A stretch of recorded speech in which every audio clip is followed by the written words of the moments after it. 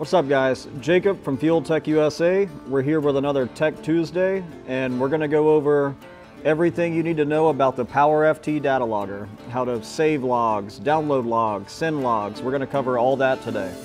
Then it's like, bow, bow, bow, bow, I like them country ones.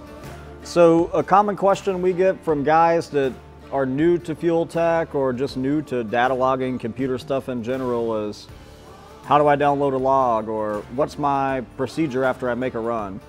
So that's kind of where we're gonna go. Let's just say we just made a run and we gotta pull a log and we gotta send it to the tuner. How are we gonna do that? So, okay, we get back, just made a run, we're gonna plug into our ECU, plug into our laptop, and most of this is gonna be on the screen. We're about to hop on there and show you on that side. All right, so we got our laptop open and we're gonna plug in now you see it lit up. We can read write ECU. We have data logger memory at the bottom. The first thing before we even pull a log is to read the ECU that says FT550 logger test. I did this just for this video. That way we have the most current tune open and that's the tune that's going to attach to the file when we open map from log. I can, I can show you that in a second. This is uh, something we run on our test bench, this tune. Then we click, come over here, click data logger. You don't even move the mouse, it opens up the data logger software. Then we click download. We have two logs. One, normally if you come back with two logs, then maybe your data logger settings, you revved it up or you did a burnout, that's the, that's the shorter log. Usually the last log, longer log is gonna be your pass. We click OK to download this log.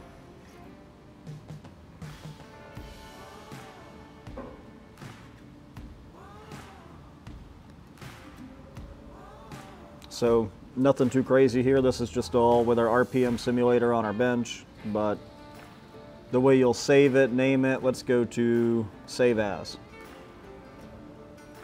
Uh, a good, good way to do this is every time you go to the track, make a new folder. Let's go new folder. Let's say we're at Rockingham today. Rockingham 513. Then we'll click that folder and we can call this run whatever it is. Maybe it's your first test run and it spins. T1 spin. We save that. So now anytime we come back, we can go to our folder, we can see our Rockingham folder, see every pass we made this day. Just keep saving them in the same folder as you go. As far as sending a data log, it's actually pretty simple on here. We have a button right at the top in the middle, send log by email. From, you put your email.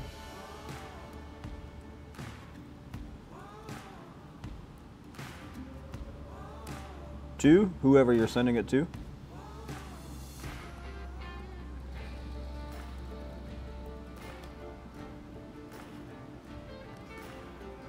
And message, uh, we'll say T1, it spun. Hit our checkbox at the bottom, send, and it's gonna ask a like a CAPTCHA, little QR code kind of thing we gotta type in.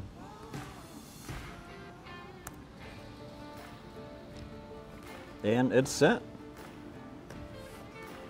So I mentioned before about reading the tune before we download the log because we have the option here to open map from log.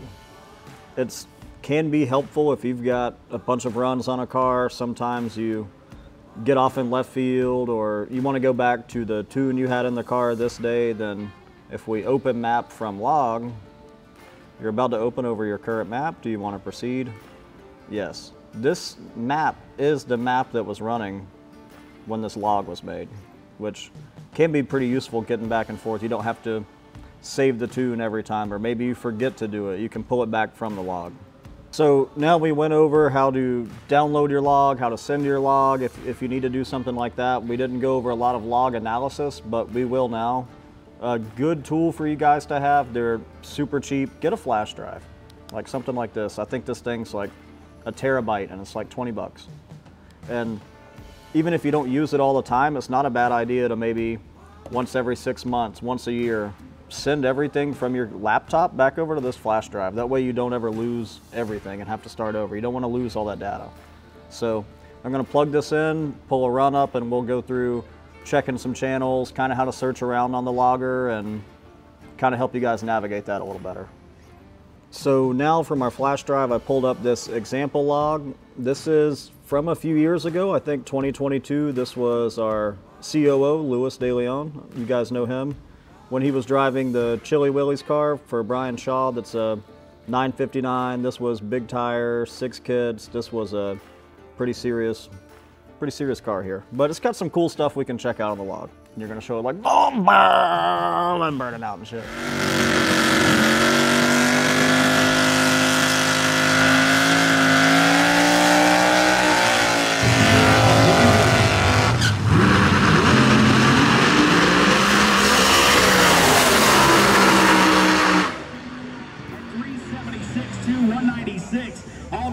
Was cooling the cylinders down. I'm telling you. So some of you guys may notice mine has a black background. By default, you have a white background. To me, the black background is just easier to see with some of the colors, but a way to change that is at the top we hit view and white if we want the white background or black if we want the black. This stuff, pixels, this just tells you how thick the lines are. Maybe you can't see it good, you want a thicker line, you can do three pixels. One's good for most stuff. This is just show values on the graph. So this is the RPM line. It shows 7,000. And you can also choose to show the names on the graph. So now it shows RPM beside it. We'll leave that up just so it's easier for you guys to follow along some of the channels. So say there's something in particular you're trying to keep an eye on, like let's say we've been working on the chassis, we want to see what the shocks are doing. Instead of scrolling through this big long list, we can hit the magnifying glass and type in shock. This car had two, a rear right and a front right. We can pull that data up here.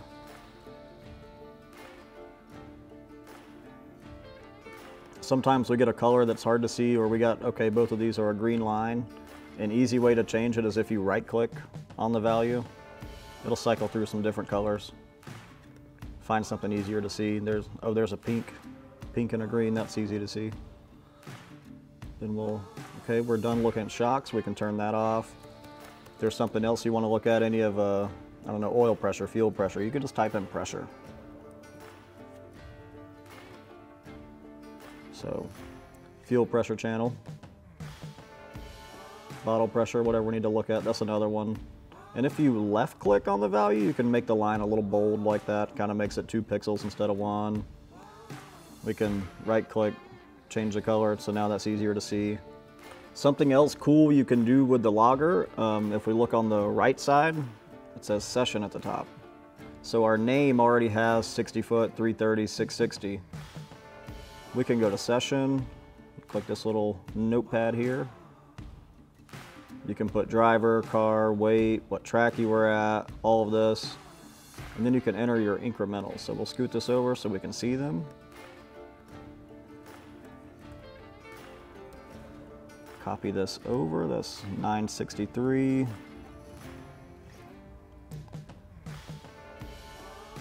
Two fifty one and three seventy six with a two, and our speed is one ninety seven.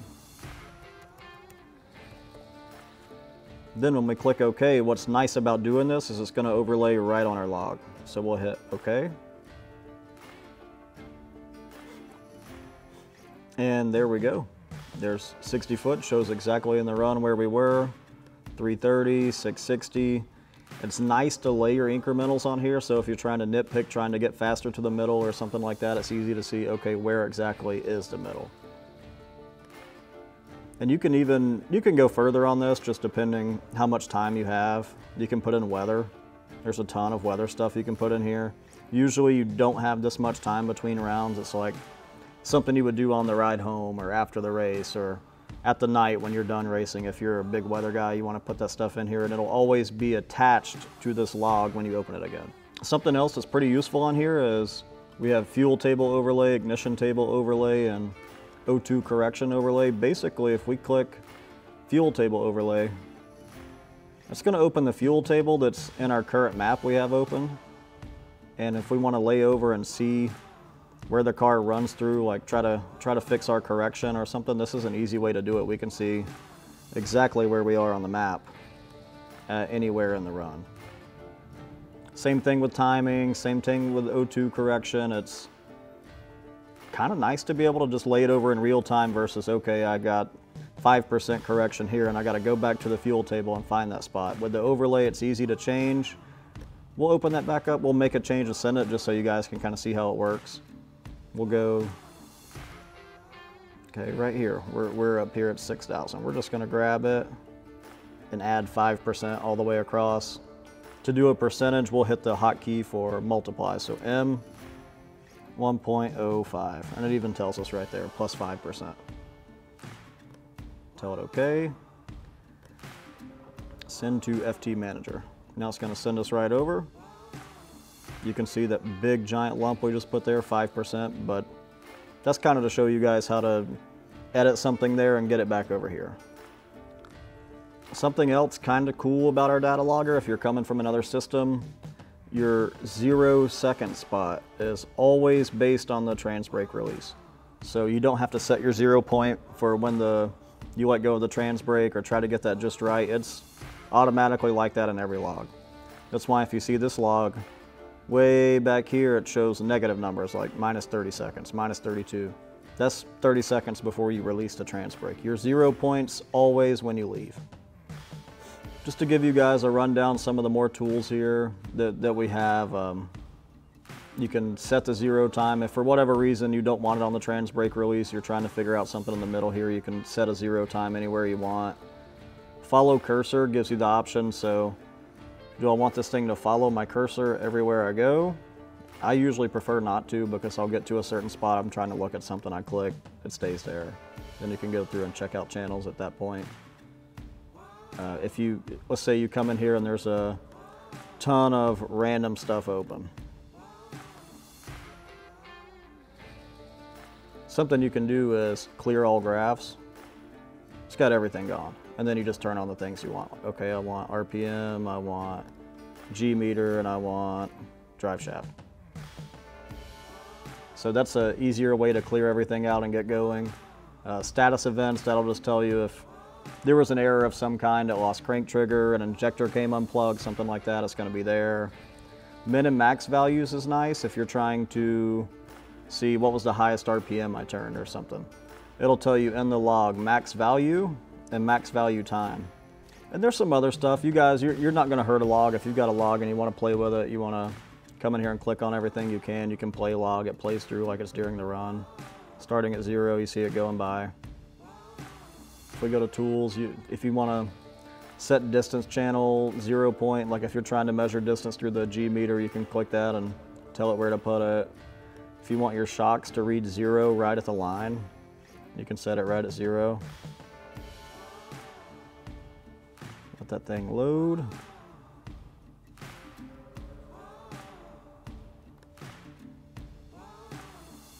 And with that setting, now our shocks are zero when we leave the line. That's an easy way to tell you what the shocks are doing. You can see, okay, this one went down an inch. This one went down three tenths of an inch. But some guys like it to be zero versus, okay, I gotta do the math. Like when I left, it was two inches and it moved to three and a half. That kind of takes the math out of it for you. There's also some other cool tools like compare graph or log info. It'll tell you like what time the log was downloaded. But this was a pretty good overview. You guys are, are gonna be a little more dangerous with your logs now, know how to download them, send them, move stuff around. So that pretty much covers everything you guys need to know about navigating your data log a little better, how to save it, organize it, send it. If you gotta send it somewhere, you're getting some help with it. If you guys see something we missed or something you want a little more explanation on, leave a comment below or reach out, give me or any of the other tech guys a call and we'll get you taken care of. And we'll see you next Tuesday.